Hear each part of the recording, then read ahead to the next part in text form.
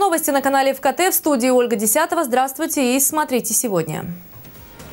Там, где раньше шла бойкая торговля, появится сквер. На Мацесте сносят незаконно установленные павильоны. В Сочи открылся приют для женщин, попавших в трудную жизненную ситуацию. Сегодня его осветил митрополит Екатеринодарский Кубанский Исидор. Налог на собак и электронная база питомцев. Какие еще предложения внесли зоозащитники на совещании в Сочи? Дети разных народов собрались сегодня утром во дворе 15-й гимназии. На Макаренко прошел этнофестиваль.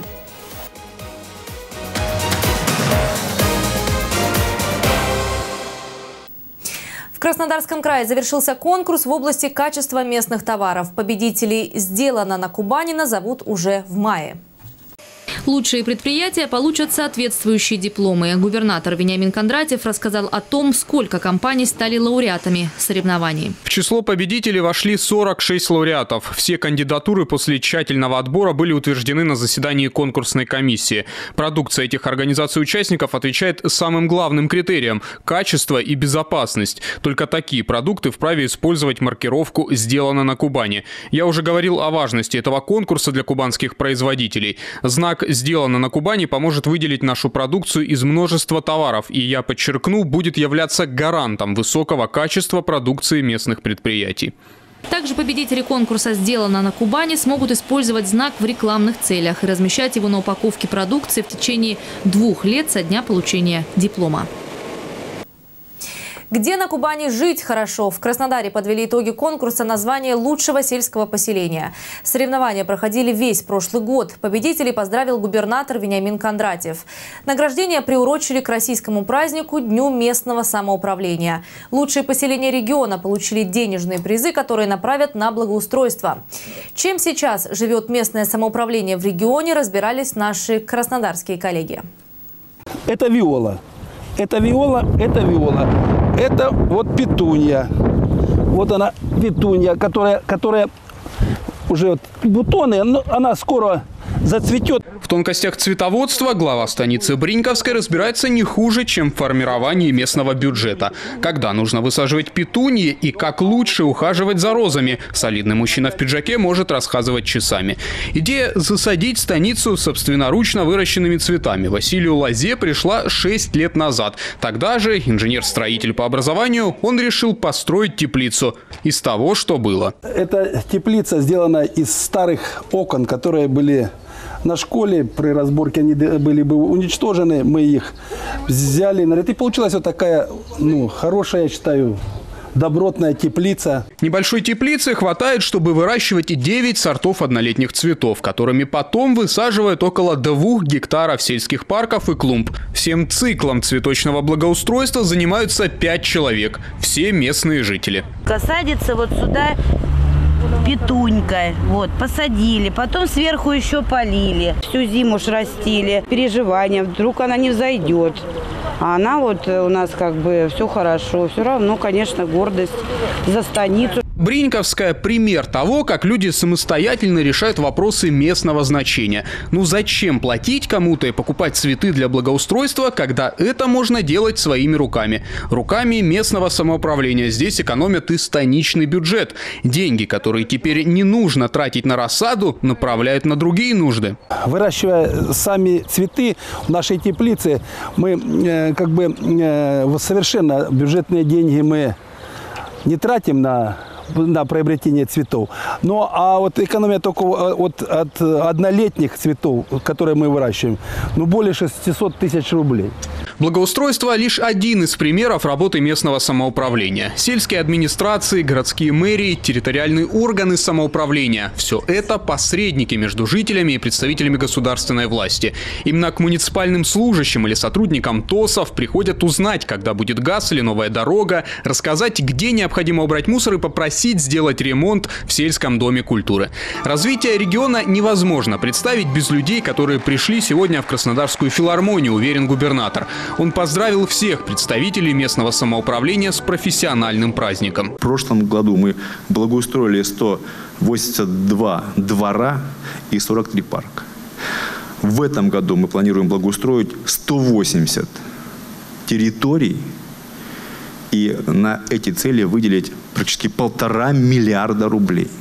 Я вот э, выстраиваю э, работу своей команды так, чтобы они не были начальниками, а в районах подчиненные. Все вместе мы одна целая команда. Все вместе мы отвечаем за жизнь. И все, что сегодня предлагается в виде решений в крае, должно четко сверяться с вами, с органами местного самоуправления. Потому что вы там, на земле, как я уже не раз говорил, вы сильнее ощущаете проблематику жизни, вы сильнее ощущаете приоритетность, на что нужно э, выделить деньги, какие проекты должны быть в первую очередь. Поэтому любое решение в первую очередь должно согласовываться с органами местного самоуправления. Я также вас прошу, когда вы свои решения будете принимать, тоже в первую очередь сверяйте их с интересами жителей поселения. Насколько им нужно уже ваше решение. И тогда мы сможем сказать, что на Кубани э, принципы самоуправления работают не на словах, а на деле. Именно открытость и обратная связь – главный принцип работы системы самоуправления. Только общими усилиями местных жителей и муниципальных властей можно реализовать множество проектов. Больше общения с людьми, больше общения, конечно, с главами ТОС, это наши помощники. И без, э, без их помощи, конечно, э, тяжело, потому что сидя в кабинете, многого не видишь и не слышишь. Я вообще местный житель, родилась в этом запорожском поселении, живу всю свою жизнь, поэтому мой номер доступен для всех. И днем, и вечером, и ночью, и утром. Особенно, когда возникают какие-то проблемы. Создание комфортной среды – это лишь первый шаг в решении проблем на местах. Особое внимание будут уделять малым городам и поселкам, заявил Вениамин Кондратьев. Сельским бюджетам помогут из краевой казны. Какие люди живут на Кубани, такая будет и Кубань. А мы с вами мы отвечаем за то, чтобы людям на Кубани жилось хорошо. Я убежден, что вы патриоты своей малой родины, конечно, нашей огромной России, но в первую очередь патриоты своих улиц, своих поселков, своих станиц, городов. Вы сегодня делаете их краше, вы делаете их лучше, вы их делаете благоустроеннее. Вот какая Кубань нам досталась наследство. Давайте эту Кубань сохраним, и вот такой же, но еще более сильной, экономически развитой, более процветающей передадим нашим детям, внукам и последующим поколениям. Сегодня же стали известны лучшие сельские поселения Кубани. Конкурс проходил весь прошлый год. Победителей лично поздравил губернатор. 35 хуторов, станицы городов получили денежные призы, которые теперь направят на благоустройство. Александр Иванченко, Денис Перец, Денис Москаленко, Александр Кощеев, Кубань-24, Краснодар. Там, где раньше шла бойкая торговля, появится сквер. На Мацесте сносят незаконно установленные павильоны. У хозяев был шанс сделать это самостоятельно, но они им не воспользовались. Сегодня на место прибыли судебные приставы и тяжелая техника. Все подробности в нашем следующем материале. Освободить земельный участок в 100 квадратных метров путем демонтажа и вывоза объектов мелкорозничной торговли – таково решение суда. Теперь ларьки на Среднем Ацесте, где раньше торговали одеждой, продуктами и игрушками, идут под снос. Собственников указанных э, ларьков, владельцев указанных объектов предупреждали заблаговременно о необходимости обязательного исполнения судебных постановлений. Вместе с тем, несмотря на предупреждение, владельцы указанных объектов их проигнорировали. Самостоятельно в установленные законом сроки не демонтировали, что было зафиксировано службой судебных приставов.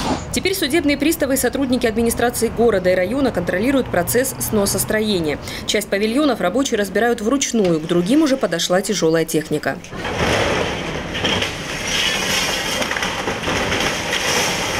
То, что объекты на муниципальной земле стоят незаконно, было обнаружено главой Сочи в ходе последней инспекции МАЦЕСТы.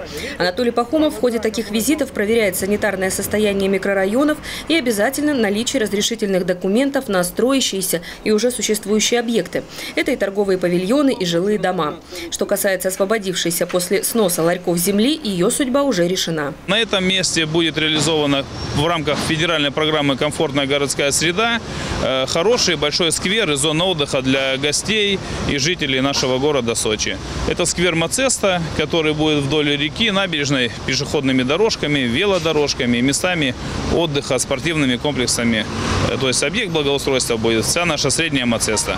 В разных частях Сочи подобные незаконные объекты сносят регулярно. Причем под снос идут не только небольшие ларьки, но и многоквартирные дома. Так, в начале месяца в Америтинке под снос пошли сразу две многоэтажки на улицах Ружейная и 65 лет Победы. Галина Моисеева, Ольга Десятого, Владимир Киселев, телекомпания ВКТ. Многотонная фура врезалась в пост ГАИ при въезде в Сочи. Водитель погиб. ДТП произошло сегодня в 4 утра, сообщает Интерфакс Юг. Водитель груженной фуры не справился с управлением и врезался в опору поста ГАИ на въезде в Сочи. Машина перевернулась, мужчина погиб на месте. Из-за случившегося на въезде в город образовалась огромная пробка. Это далеко не первая авария на этом участке перевала. Чаще всего это происходит из-за отказа тормозной системы. Специалисты советуют на затяжном спуске тормозить двигателем. Впереди каникулы, отдых для детей и горячая пора для взрослых. В УВД Сочи отчитались о мерах защиты несовершеннолетних, причем во всех сферах правоохранительной деятельности. За первый квартал этого года в городе произошло 12 ДТП, участниками которых стали дети. И хотя это несколько меньше, чем в этот же период прошлого года, сотрудники ГИБДД отмечают, могло быть и меньше, если бы не халатность взрослых. В пяти ДТП дети выступали в качестве пешеходов. А, в шести ДТП дети являлись пассажирами транспортных средств, на, чтобы особое внимание хотелось обратить, что детей а, в этих ДТП перевозили без специальных детских удерживающих устройств. В свою очередь это недопустимо. Также в первом квартале в наркодиспансерное обследование были направлены 18 подростков. В четырех случаях выявлены признаки употребления каннабиоидов. Еще в одном случае речь шла о синтетическом наркотике.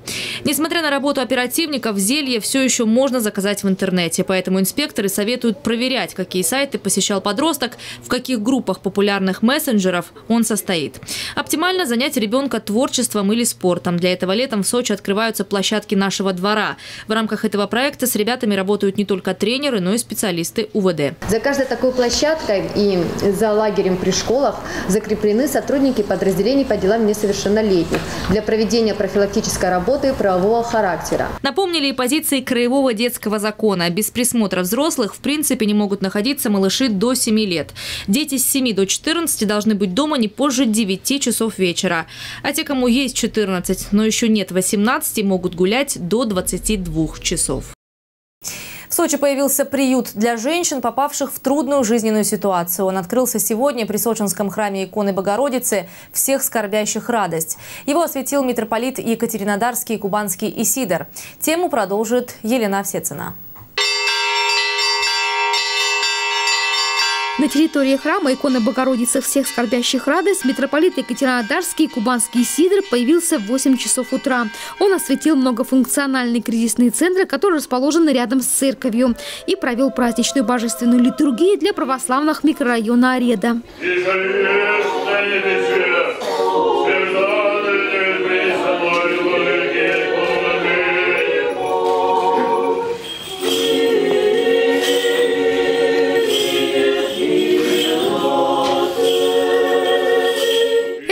В народе прозвали больничным. При нем есть сестры милосердия. Они помогают при необходимости ухаживать за тяжелобольными в палатах.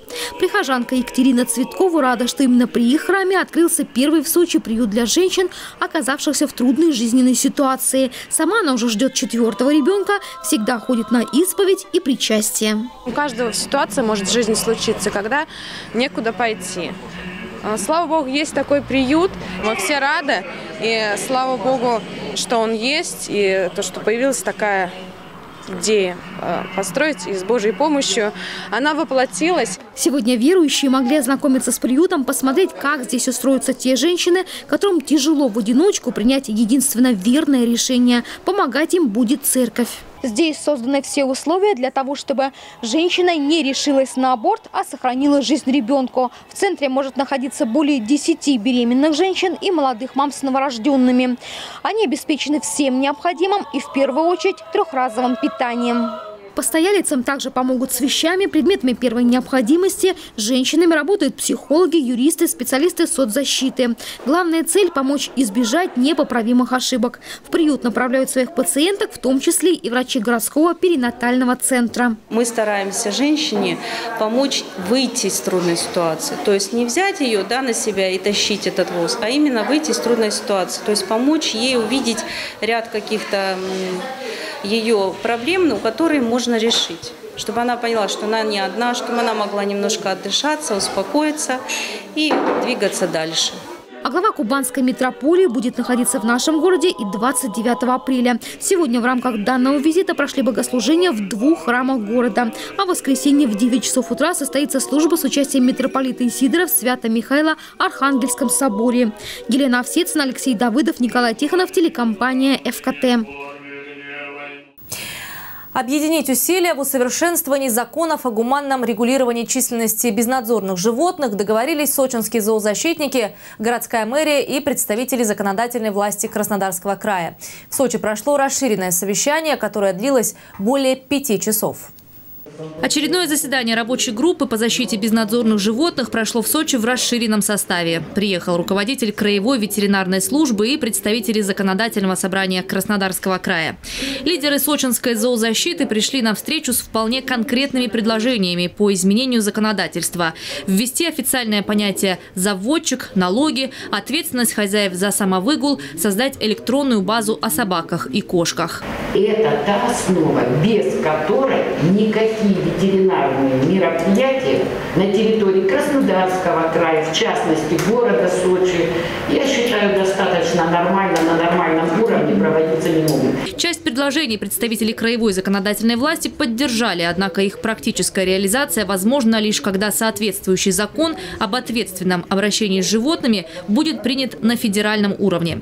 Со своей стороны сочинская рабочая группа подготовит такое обращение в Госдуму. Наша задача во многом выработать общие подходы, общие механизмы, которые позволят нам, в том числе используя наши законодательные инициативы, обращаться прежде всего в Государственную Думу для того, чтобы мы навели порядок, вот, прежде всего, с федеральным законодательством. В Краснодарском крае действует ряд региональных законов и постановления о регулировании порядка численности безнадзорных животных. На его основании администрации районов заключают муниципальные контракты на отлов. Сочинским приютам предложили участвовать в этих конкурсах, а выделяемые средства тратить на содержание и стерилизацию животных. В этом году краевых субвенций будет направлено свыше 6 миллионов. В следующем году финансирование планируют увеличить. Работы на самом деле проведено очень много. Были выезды э, на действующий приют на Барановке, работа с правозащитными и общественными организациями и приютами действующими, которые существуют на территории города Сочи. Выявлены были проблемы, которые существуют, что э, не так развита система штрафов, да, или они очень низкие, э, что у нас на сегодня не совсем корректно выполняется 300 постановление губернатора, и над этим нужно работать и отрабатывать методику. Главный инструмент в борьбе с безнадзорными животными – это стерилизация. С начала года на территории Сочи почти 2000 собак и кошек были прооперированы. По словам ветврачей, стерилизация приносит животным только пользу и продлевает им жизнь. Однако статистика скупая, отмечают представители власти и зоозащитники. Хозяева многих собак и кошек не проявляют сознательность, а потом избавляются от нежелательного потомства. Как следствие, животные попадают на улицу, если повезет, в приют. В первую очередь необходимо чипировать животных. Да? Я знаю, что на территории города Кортук Сочи в соответствии с 800 краевым законом проводится работа по идентификации э, данных животных. И с начала работы данного закона, это, конечно, 2016 года, значит, идентифицировано свыше 3000 животных. Между тем продолжается совместная работа представителей зоозащиты, волонтеров и администрации в приютах Хостинского района. По поручению главы города Сочи здесь будет проведено поэтапное благоустройство. Приняты следующие решения. Это э, первое, привести благоустройство э, в, состо... в надлежащее состояние непосредственно в Барановке. Это там, где существует сегодня уже э, приют для животных бездомных. То есть мы уже 3 числа начнем разравнивать дорогу. Сейчас идет работа по освещению территории. Как отмечают сочинские общественники, вопрос о защите животных на курорте, как и во всей стране, остается острым. Однако, объединив усилия с местными властями и краем, можно достигнуть нужного результата. Ведущих медиков страны объединил форум в Сочи. На курорте стартовал 14-й конгресс «Мужское здоровье». Участие в нем принимают ведущие специалисты в области урологии, онкологии, гинекологии, а также врачи общей практики и другие эксперты. Обсуждение вопросов мужского здоровья пройдет в формате симпозиумов, круглых столов, лекций мастер-классов. На форуме выступят ведущие российские и зарубежные эксперты. Накануне участников поприветствовал глава Сочи. Добро пожаловать в город Сочи, город солнца любви и, конечно же, город здоровья. Я думаю, что вы сможете убедиться в том, что мы действительно этому уделяем огромное значение, еще и посетив наши больницы, наши клиники, наши поликлиники. Завершится форум «Мужское здоровье» 29 апреля. Кстати, организаторы предварительно договорились сделать Сочи постоянной площадкой для проведения Конгресса. Дети разных народов собрались сегодня утром во дворе 15-й гимназии. На Макаренко прошел этнофестиваль. Школьный двор давно не видал такую пеструю толпу детей. Вместо черно-белых строгих нарядов – буйство красок и национальных украшений. Тут и сербы, и молдаване, и грузины, и даже народы Крайнего Севера. Причем участники не представители именно этого этноса. Национальность здесь выбирали методом жеребьевки. Мы хотим сохранить этот хрупкий мир. И мы знаем, что не бывает плохих национальностей, а бывают просто плохие люди. И дети, у которых, за которыми будущее, должны это понимать. Каждой команде надо было представить национальный костюм, кухню, разучить песню и танец.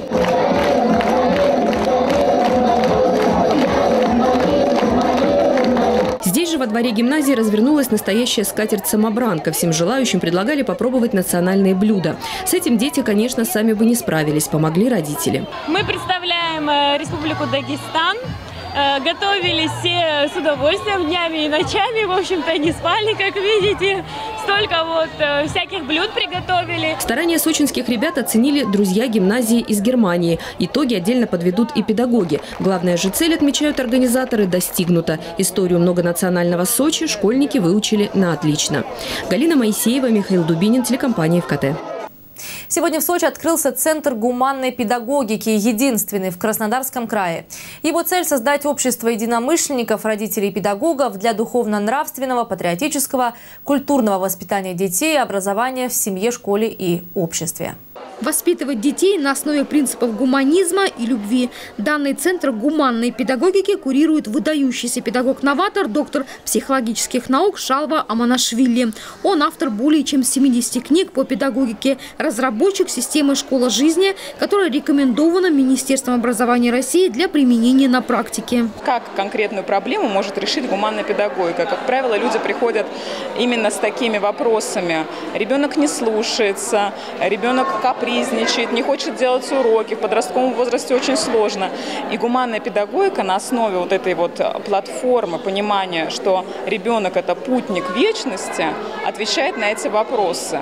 В Центре гуманной педагогики будут проводиться лекции, семинары, и любой человек может стать слушателем, получив для себя ответы на наиболее интересующие вопросы. Этот центр создан и для родителей, и для педагогов, и просто людей, которые интересуются своим развитием, а, как э, возрождать традиции семьи, как возрождать э, духовно-нравственные вот эти отношения, как воспитывать благородного, благородного и высоконравственного культурного человека. Сегодня состоялось торжественное открытие центра, а уже 10 мая пройдет первая расширенная встреча, где можно будет обсудить тему гуманности, нравственности, воспитания детей и, что немаловажно, себя. Профессионалы поделятся опытом. А 12 мая состоится семинар под названием «Мы все живем, чтобы оставить след». Центр гуманной педагогики расположен по адресу Новогинской 7, дробь 7, рядом с биржей труда. Елена Овсецина, Алексей Давыдов, телекомпания «ФКТ». Ну и на этом наш выпуск завершен. Мне остается добавить, что все новости уже на нашем сайте fkt.com. В студии была Ольга Десятова. Всего доброго и до встречи в эфире.